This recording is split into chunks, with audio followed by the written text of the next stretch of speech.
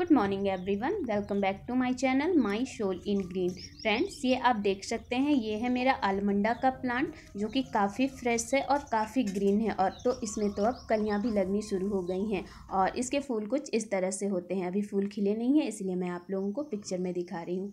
और ये है मेरा दूसरा आलमंडा का प्लांट लेकिन ये देखिए, ये पत्ते सिकुड़ रहे हैं और कुछ पत्ते पीले भी पड़ रहे हैं। हो सकता है इसमें कुछ प्रॉब्लम आ गई हो, इसकी मिट्टी में फंगस लग गए हों या रूट में फंगस लगे हों।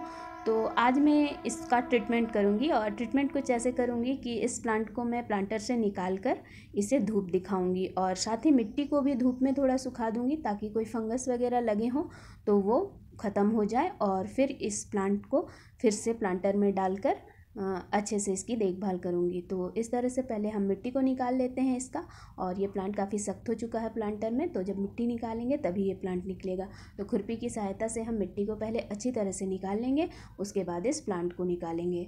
तो मैंने इस प्लांट को अब निकाल लिया है, मिट्टी को हम ज़मीन में डाल देंगे, उससे पहले देखिए इस प्लांट की रूट और इसकी रूट को हम अच्छे से वॉश कर लेंगे और वॉश करने के बाद इसे अच्छे से धूप में सुखा देंगे। और अगर रूट प्रोनिंग की ज़रूरत पड़ेगी तो वो भी करेंगे, बट मुझे इसमें नहीं लग रहा है कि रूट प्रोनिंग की ज़रूरत है ये।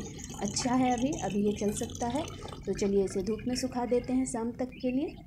तो इसे मैंने धूप में सुखा दिया है और मिट्टी को भी मैंने धूप में अच्छे से फैला दिया है। शाम तक ये दोनों अच्छे से सूख जाएँगे और यह है शाम का समय।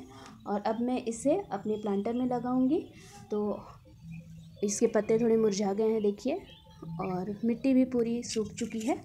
और इस मिट्टी में मैं थोड़ा मिलाऊँगी कंपोस्ट। ये किचन वेस्ट कंपोस्ट है, थोड़ी रेत। और मिलाऊँगी थोड़ा स्टोन डस्ट और इसका एक अच्छा सा पॉटिंग मिक्स तैयार कर लूँगी और इस पॉटिंग मिक्स में मैं इस पौधे को लगा दूँगी। फिर से ये दोबारा मैं इसी प्लांटर में इसे रिपोर्ट कर दूँगी। तो इस तरह से पहले हम प्लांटर में मिट्टी भर लेते हैं, उसके बाद अपने पौधे को लगा देते हैं। तो हमारा पौधा लगकर तैयार हो चुका है और अब इसमें हम दे देंगे पानी। तो जब भी किसी तरह की प्रॉब्लम दिखे तो आप ये काम कर सकते हैं। सो फ्रेंड्स ये था आज का video thanks for watching this video and don't forget to like comment share and subscribe